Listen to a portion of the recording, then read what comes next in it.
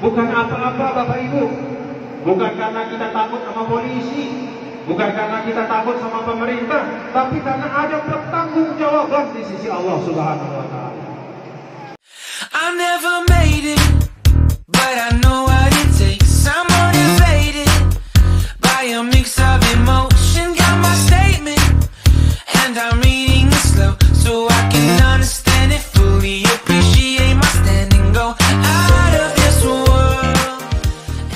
Kebebasan Islam di Indonesia mari kita gunakan dengan tanggung jawab. Bukan apa-apa Bapak Ibu. Bukan karena kita takut sama polisi, bukan karena kita takut sama pemerintah, tapi karena ada pertanggungjawaban di sisi Allah Subhanahu wa taala. Nanti yang paling dulu ditanya itu kita, ustaz-ustaz. Kita gunakan mimbar mimbar khutbah itu apakah dengan cara-cara yang baik? Apakah kita wajahilhum billatihi ahsan? Ud'u ila sabili rabbika bil hikmati wal mau'izatil hasanah wajahilhum billatihi ahsan. Apakah dengan hikmah, dengan kelembutan, dengan kebaikan? Atau kita isi mimbar-mimbar itu dengan kebencian, umpatan dan hujatan? Tanggung jawab di sisi. Mari kita gunakan ruang berislam di Indonesia yang lebar dan luas ini dengan penuh tanggung jawab. Hadirkan Islam yang bisa menenangkan kita semua. Hadirkan wajah Islam yang baik. Karena bagaimana mungkin orang-orang non-muslim baik yang di Indonesia maupun yang di luar negeri akan tertarik dengan kita, akan tertarik dengan Islam agama kita kalau kita membahasakan Islam dengan penuh kebencian.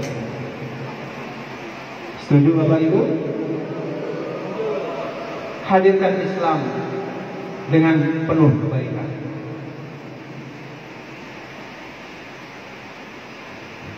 Kata Rasul, lam ub'at la'anan wa inna ma bu'istu rahmatan wa mu'alliman. Saya itu diutus bukan tukang ngumpat, tapi saya diutus menjadi rahmat dan mengajarkan kebaikan. Bapak Ibu hadirin hadirat sekalian, jadi tanggung jawab kita besar Bapak-bapak Ibu-ibu ya. Yuk para asatid, para santri, para kiai ajengan, yuk bersama-sama kita suarakan ajaran Islam yang terus menerus menebarkan kasih sayang, mengokohkan nilai-nilai kemanusiaan dan memperkuat fondasi kebangsaan kita. Semoga Allah Subhanahu wa taala merahmati kita semua dan ke depan sekian puluh hari. Kalaupun kita berbeda pilihan ada yang beda pilihan jangan saling menghujat dan menjatuhkan. Kalaupun pun kita berbeda pilihan tapi harus tetap ada yang sama. Kalau kata ulama al-arab tahtalif wal qulub tahtalif pikiran pendapat bisa beda tapi hati kita menyatu. Saling mendoakan dalam kebaikan kita doakan Indonesia yang kita cintai. Semoga tetap kokoh kuat terjaga dalam kebaikan dan keberkahan. Terima kasih Bu Bupati dan bapak-bapak para kiai ajengan guru-guru saya uh, atas kesempatan dan keluangan untuk bersilaturahim pada pagi hari ini. Semoga kita selalu dalam perlindungan Allah Subhanahu wa taala